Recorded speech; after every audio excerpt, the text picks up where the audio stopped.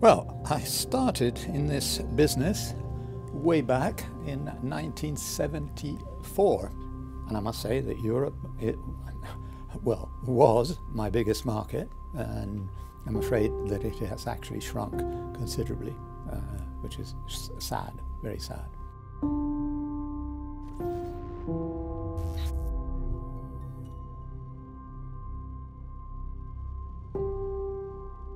That is Lizard.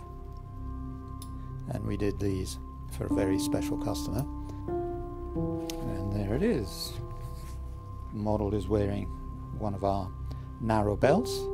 You probably recognize the colors here, perhaps, if you're a tennis player.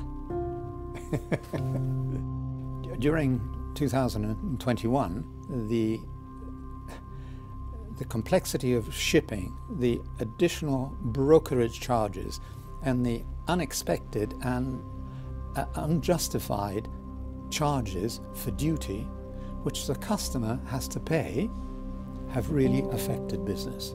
Now you've got this plus that plus that. And because my business is small, we don't invoice, you know, £100,000 per customer.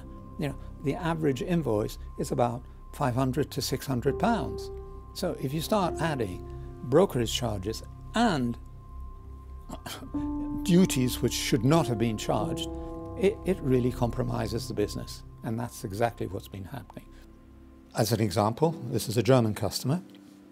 She got the uh, goods on, I think it was the 12th of December, and DHL delivered them and said, oh, excuse me, but in addition to the brokerage charge, etc., there are 98 euros 60 worth of duty.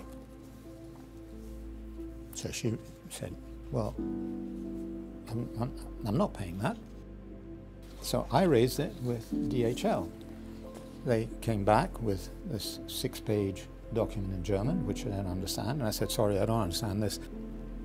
She came back to me again today, and she said, ah, if you want to take it further, then the consignee has to raise it with DHL in Germany and for them to consider the issue they require a payment of 50 euros plus German VAT.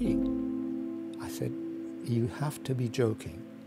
For a complaint that you, of a mistake that you have made, you're charging the customer another 50 euros and plus VAT? Nonsense absolute nonsense. Whilst in the past you hardly had to fill in form upon form, now it's a lottery. It may, may not, and if it doesn't, it can actually, you know, slap you.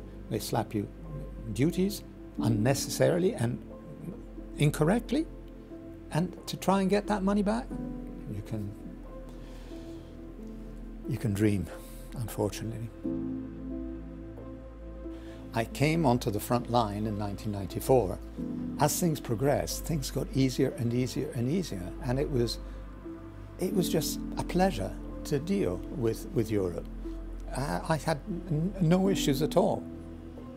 And the business, from a very humble beginning, grew, grew and grew. Come 2021, and it's all terrible, absolutely terrible. But, you know, there was rejoicing about Brexit and, oh, we've, taken uh, back our sovereignty, etc., etc., etc. And I don't think anybody was really aware of the consequences, the real consequences of Brexit and how it is sort of, you know, everything started to cave in. I would urge the government to think very carefully about the effect of Brexit on small businesses. Small businesses have suffered, will suffer, and will suffer even more after January the 1st this year. It is a very serious issue, very, very serious issue.